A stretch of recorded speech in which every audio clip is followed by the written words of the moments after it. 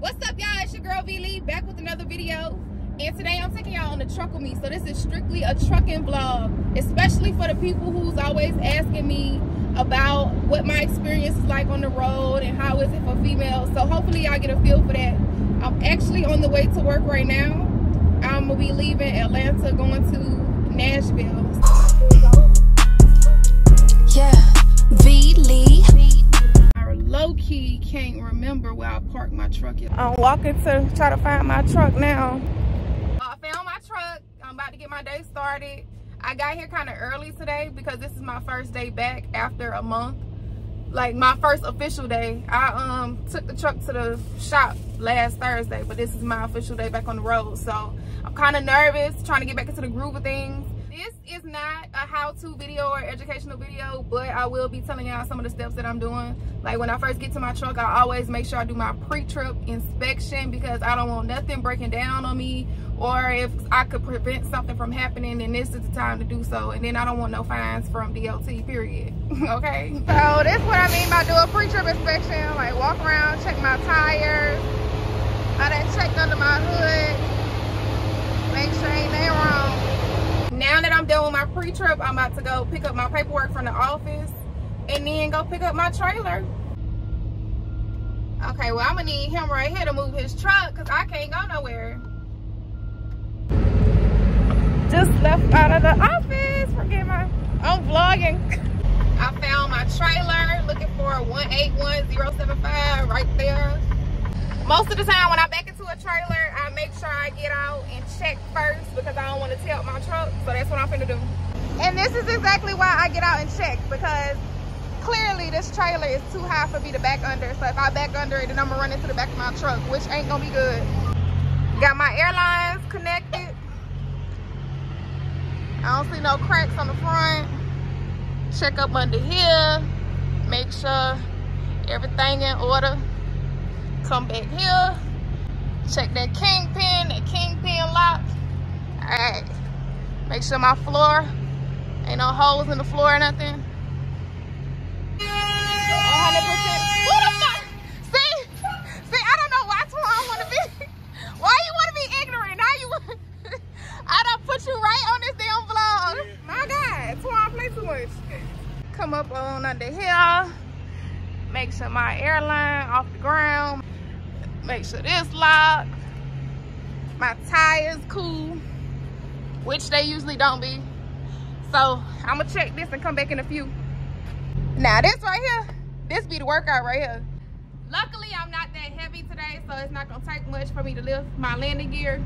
But yeah, this be the workout.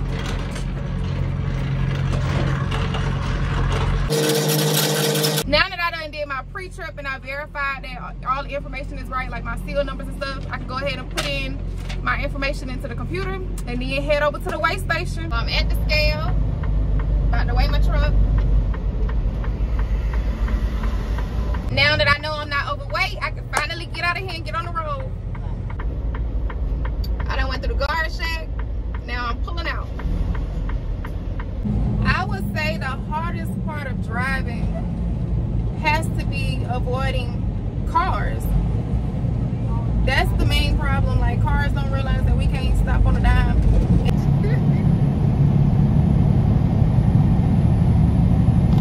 I just made a stop because I'm about halfway through my trip. This isn't one of my fuel stops, but I'm hungry and I have to use the restroom, so that's that. I'll stop for fuel on the way back. These people are really sitting here taking their breaks at the fuel line. Back on the road again. I have like an hour and a half left of driving. I made it to my final destination. As y'all can see, it's raining. I already opened my trailer doors. Now I gotta back into the dock. I'm in the door. I'm the first truck here. Now let's see how long it takes them to unload me.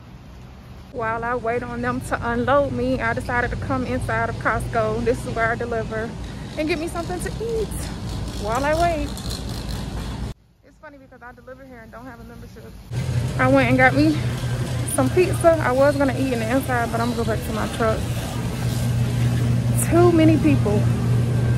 I'm in my bunk, chilling, still waiting to be unloaded. I done been here for what, two and a half hours. I'm just trying to be patient because I still got two more days to work this week and ain't no need to be upset. And it's hump day.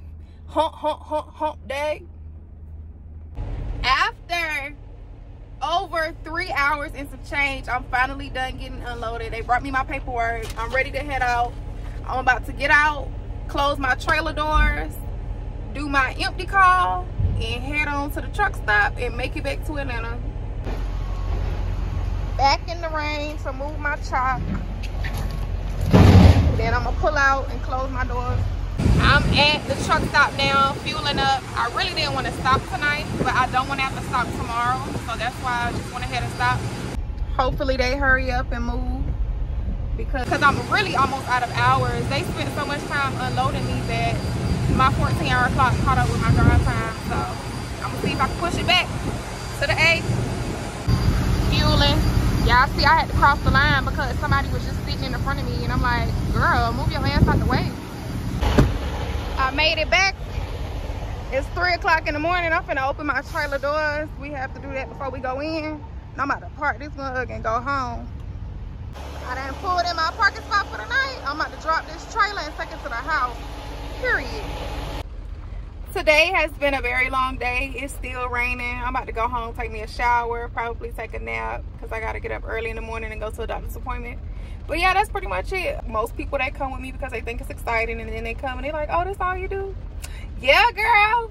It's the same thing every day. I just got used to it. It probably would be more exciting if I was like cross country, but I just go to the same store every day, so it's, it's nothing exciting about that. But yeah, make sure y'all like, comment, subscribe, all of that good stuff. Talk to y'all later.